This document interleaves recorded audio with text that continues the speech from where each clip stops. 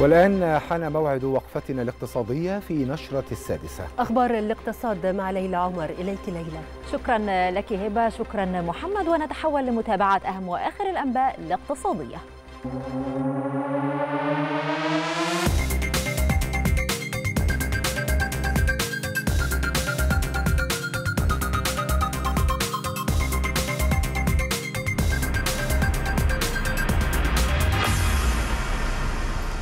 نفى المركز الإعلامي لمجلس الوزراء اعتزام الحكومة تقليص المخصصات المالية للمعاشات تزامنا مع الأزمة الاقتصادية العالمية.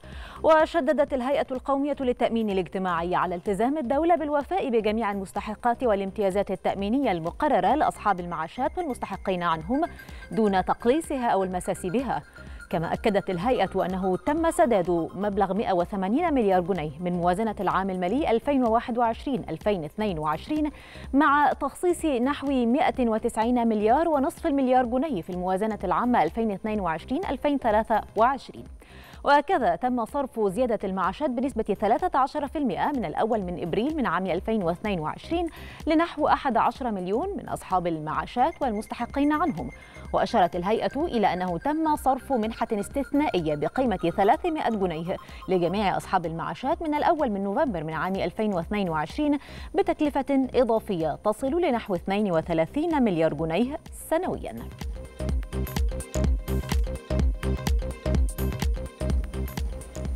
ذكر مركز المعلومات ودعم اتخاذ القرار بمجلس الوزراء أن قيمة سوق العقارات العالمية بلغت نحو 3.69 تريليون دولار عام 2021 جاء ذلك في تحليل أصدره مركز المعلومات استعرض خلاله سوق العقارات عالميا ومحليا من حيث الأرقام والمؤشرات والتحديات التي تواجهه.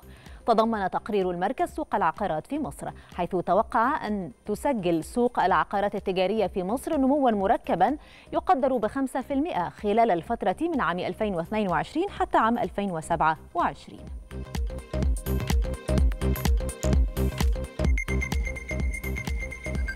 أكد أمين عام اتحاد الغرف التجارية على أعز توفر السلع بكميات كبيرة في الأسواق واستقرار الأسعار مشيرا إلى عودة أسعار الأعلاف إلى طبيعتها.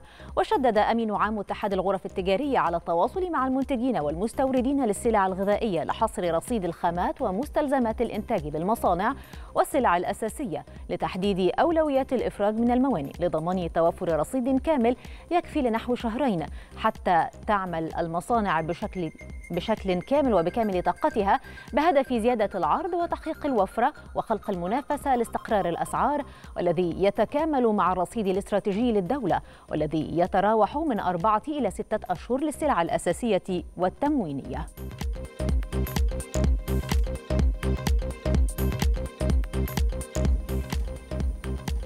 ذكرت وزارة البيئة أنه تم تنفيذ مشروعات الإصحاح البيئي بالتعاون مع وزارة البترول وبناء على توجيهات الرئيس عبد الفتاح السيسي للحد من التلوث بخليج السويس. جاء ذلك خلال جولة لوزيري البيئة والبترول لمشروعات الإصحاح البيئي بالشركات العاملة بقطاع البترول بمنطقة خليج السويس للتأكد من التوافق مع قانون البيئة ولائحته التنفيذية.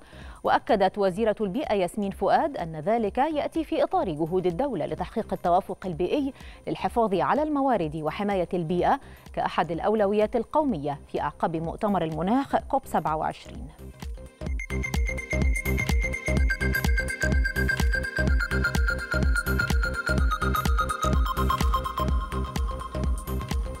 وللمزيد حول جولة وزيري البيئة والبترول بمشروعات الإصحاح البيئي مراسل التلفزيون المصري أحمد الحسيني معنا. نحييكم مشاهدينا داخل إحدى هذه الجولات البحرية مع معالي وزير البترول المهندس طارق الملا للاطمئنان على الثروة البحرية وأيضا على الشعاب المرجانية هنا في البحر الأحمر. معالي الوزير أهلا بحضرتك على شاشة القناة الأولى. وحدثنا عن هذه الجولة البحرية هنا في البحر الأحمر. إحنا استكمالا للزيارة المدنية اللي بدأناها النهاردة الصبح. في بعض المواقع عندنا في خليج السويس يمكن شفنا محطات معالجة مياه الصرف البترولي في أحد مواقع الشركات بتاعتنا ويمكن شفنا من العروض التقديمية الجهود اللي تمت على مدار السنتين اللي فاتت على إن إحنا بنعيد يا إما تأهيل يا إما بنحط محطات جديدة بتكون متوافقة بيئيا وتكون على أعلى مستوى من المعايير الدولية وبتكنولوجيات حديثة لمعالجة مياه الصرف البترولي. وده طبعا في خطة علشان تحديث هذه المنظومه لأنه طبعا إحنا جهودنا كلها بتتكاتف علشان خاطر التنمية المستدامة وناخد بالنا منه إن البيئة البحرية بتاعتنا تبقى غير ملوثة ولا سيما إن إحنا بنتكلم على نشاط مهم للاقتصاد القومي هو إنتاج البترول وبالتالي يجب إن إحنا نكون متأكدين إن إحنا مع زيادة إنتاجنا للبترول بنحافظ على البيئة المحيطة ولا سيما البيئة البحرية. لما نيجي نتكلم على البيئة البحرية سواء بالتنوع البيولوجي فيها من أسماك أو من شعاب مرجانية. السبب في إن إحنا بعد استكمال الجولة الميدانية في المصانع المعالجة اللي أنتم شفتوها النهارده إحنا كمان بنطلع بالمركب زي ما أنتم شايفين النهارده وشايفين مع بعض في البحر الشعاب المرجانية وشكلها إيه وإن هي موجودة ومستواها متميز وجيد. في سوق المال أنهت البورصة المصرية تعاملات في أولى جلسات عام 2023 بارتفاع جماعي للمؤشرات. وارتفع رأس المال السوقي 22.1 مليار جنيه ليغلق عند مستوى 993.296 مليار جنيه.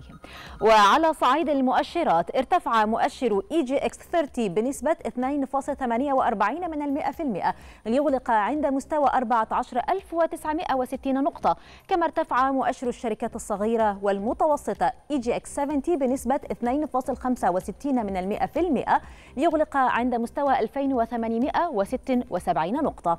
وصعد مؤشر EGX 100 بنسبة 2.74 من المئة في المئة ليغلق عند مستوى 4259 نقطة. إلى الأسواق الخليجية حيث حققت أغلب مؤشرات الأسهم الرئيسية بداية جيدة لعام 2023 وارتفع مؤشر أبو ظبي بنسبة 4% كما زاد المؤشر القطري بنسبة 1.4% وارتفع المؤشر السعودي بنسبة 3% في المقابل تراجع مؤشر دبي 2% وكذلك هبط مؤشر البحرين بنسبة 4%